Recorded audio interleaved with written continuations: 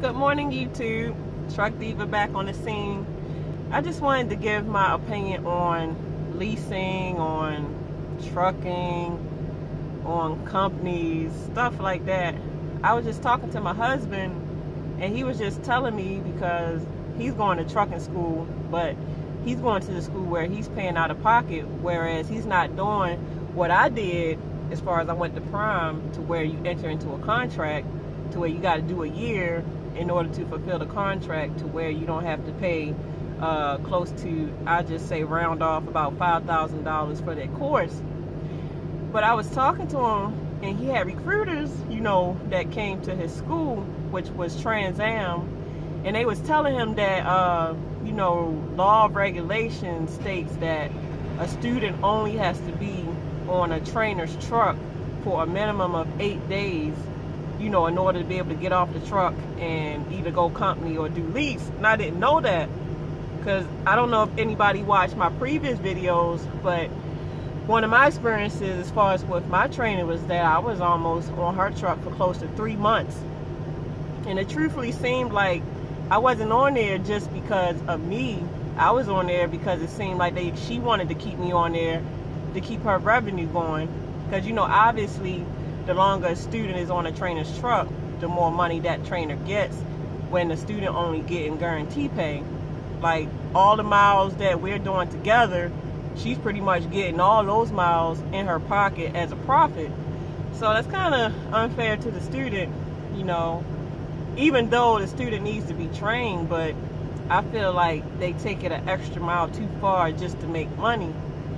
So, you know, Trans Am was telling him that that you know the student only have to be on there for a minimum of eight days. And also that they don't do co-ed uh, training. Whereas prime you know if i'm a female they'll place you with a male driver. Whereas what the trans am people was telling him is that they don't put male and female or female and male. It's either male male or female female which i feel like that's how it should be. Because they that there were situations to where you know people were getting pregnant loads wasn't getting delivered on time because you know people smashing they their their uh, trainer or smashing their student, which is so unprofessional. So I don't know. I mean, Trans Am seemed like a pretty cool company, and then they was also saying that Knight is cool too. So I mean, I'm really flabbergasted about the eight day. You know, Trans Am only keep their students on their truck for eight days. You know, if you don't have no problems. And here it is prime, you know, keeping you on the truck for two months or more. And then if you got a crappy uh, instructor that want to try to lie on you and say that you're not ready, then you might be on the truck for more than that. Shit, it was two girls from my class where I think I got out my off my instructor's truck um, and at the end of February. This is uh, April now. They're just getting off their trainer's truck all because the probably the instructor was I guess trying to find ways to keep the student on the truck because that's their money. But that's a bunch of bogus to me, you know. And then as lease operator, you know, a lot of these companies try to rip off their students with all these deductions they taking out your settlement. They got the APU deduction, they got operator deduction, access miles deduction. I mean deductions on top of deductions. By the time you know you get a paycheck, it's cut significantly. And if you're in the slow season, you pretty much almost making just as much or less as a company driver.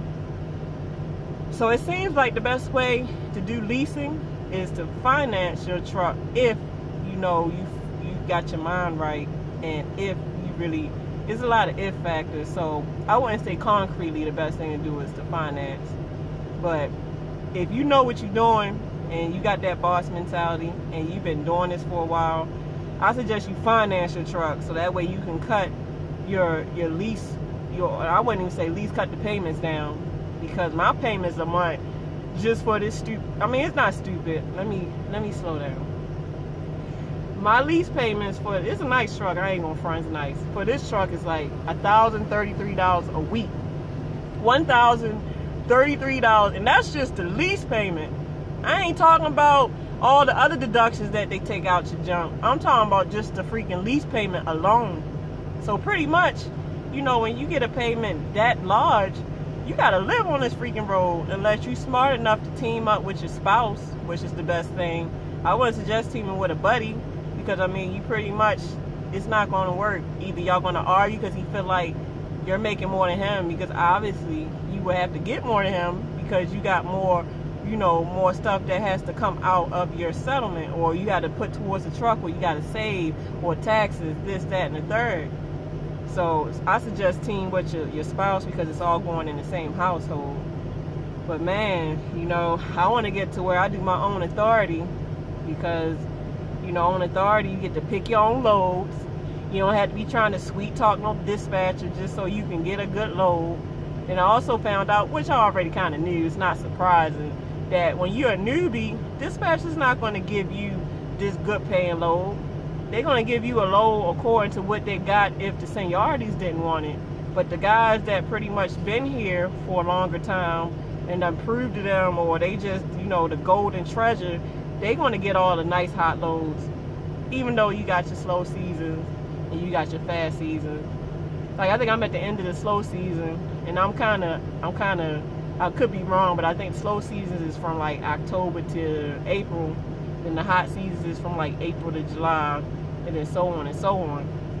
So if you're in a slow season as a newbie, it's like you just, you just breaking even, break pretty much breaking even. So Prime's not a bad company, but to me, I feel like they just a company that's just for, you know, a stepping stone because if you're trying to advance to the next level to where you're trying to get on your own and do your own thing, that's hard to do that with Prime because you can't pick your own loads.